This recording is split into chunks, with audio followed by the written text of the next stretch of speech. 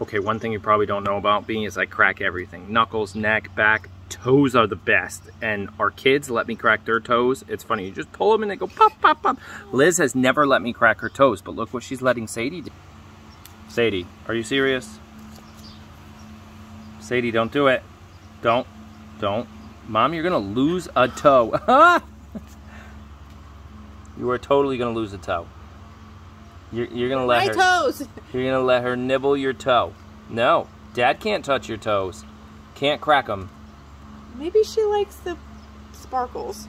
That could be it. I'm scared of she gonna bite my feet. Oh, now she's licking my toes. Oh, okay. Okay. You borderline like this.